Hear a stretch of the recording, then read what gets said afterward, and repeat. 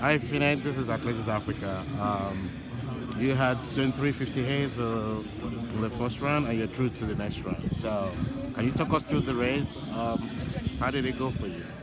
Um, I think it went okay. Like, my plan was just to get out as hard as I can, and then hold it, and then literally just run the last hundred, like run for my life really. So it went well. I wasn't expecting to be top two. I was thinking maybe around three, four. So I'm happy to qualify in the top two, which is nice. So yeah.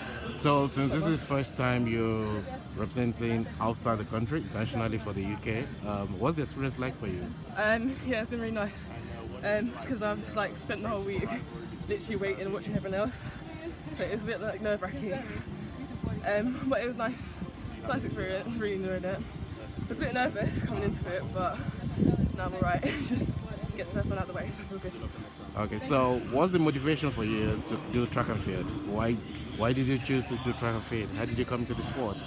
um, I don't actually know. It was, I think, I just enjoyed sort of like running in when I was like about in primary school. Um, and then when I went to secondary school, my teacher just told me to join, and then just sort of fell into it really. I started training properly when I was 15. And my coach now asked me to join the club, so yeah. Okay, so I, I noticed you have a Ghanaian last name. Yes. Can you speak any word of Ghanaian? oh god. So this is a Shanti name, so. I, I'm, I'm not good. I can understand, but I can't really speak. Like I can. You know what Akwaba means? Welcome, yeah. Good. Yeah. So who's Ghanaian your dad? Both Both of them.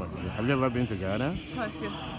Good. Yeah. So, um, let me say, what would you say to young people in Ghana Oh. as a as, as a Ghanaian heritage living in England?